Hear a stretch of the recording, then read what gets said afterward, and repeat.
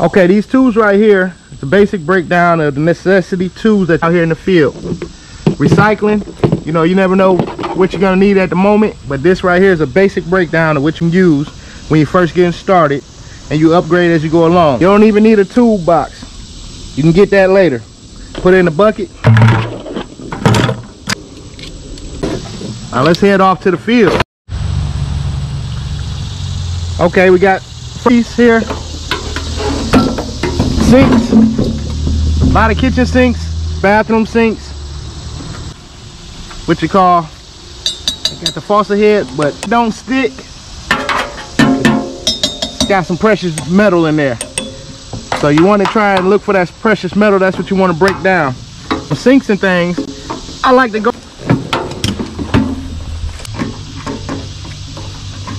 loosen up your drain lines and your plumbing lines take your pliers there. Loosen that up there. There.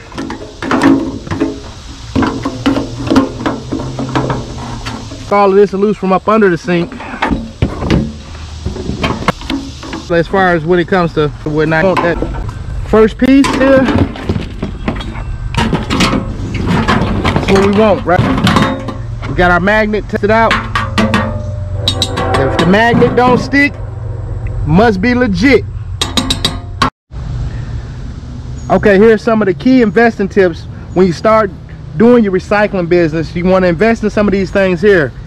I got Ryobi smaller entry-level tool sets but got a sawzall. You can cut some of that metal down quickly. Got your basic drill. This right here this next piece right here comes in handy. That grinder put your cutting blade on there. You grind. You cut things up real fast on the go.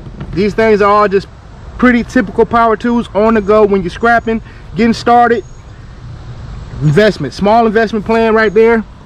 Got a couple tools out of you know we'll talk. All right. One of the common questions you get when you're starting to do scrapping and recycling.